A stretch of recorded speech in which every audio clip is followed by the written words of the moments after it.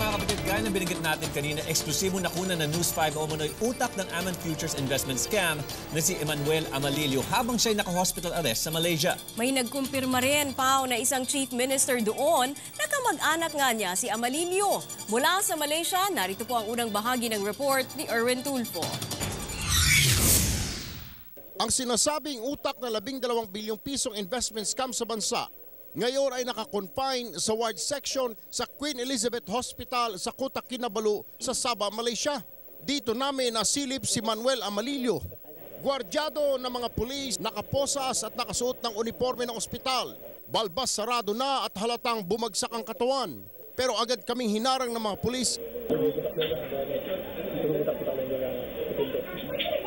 Inaresto si Amalilio ng mga otoridad sa Malaysia dahil sa paglabag sa immigration law. Pero naging maugong ang balita na mismong ang Chief Minister ng Kota Kinabalu na si Dato Musa Aman at hepe ng pulisya doon ay malapit daw na kamag-anak ni Amalilio. Ito rin ang kinumpirma ng aming Pinoy asset na mismong nakasama sa pag-aresto kay Amalilio sa Ranao noong Enero 24. Kasi malakas ang kapit ni Aman sa Sabah. May mga politiko na umaano sa kanya.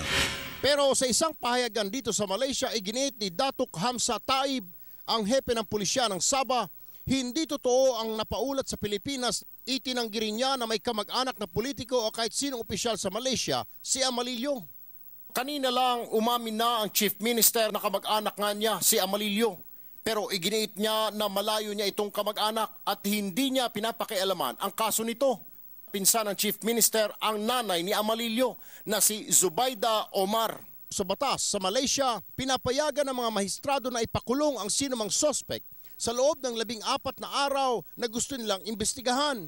Within 14 days, the two weeks, uh, they cannot. The person who arrested cannot make any statement to the press. In general, they they don't want any influence to the person.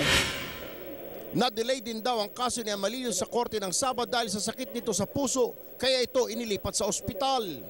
Wala pang nakatakdang petsa kung kailan may babalik si Amalilio sa ating bansa o kung ibabalik pa ba ng pamahalaan ng Saba sa Pilipinas. Pero isa lang ang katiyakan, si Amalilio ay naharap ngayon sa kasong paglabag sa mga batas ng immigration ng Malaysia. Tikom na rin ang bibig ng pamahalaan ng Malaysia hinggil sa nasabing kaso. Erwin Tulfo, News 5, Kuta Kinabalu, Malaysia.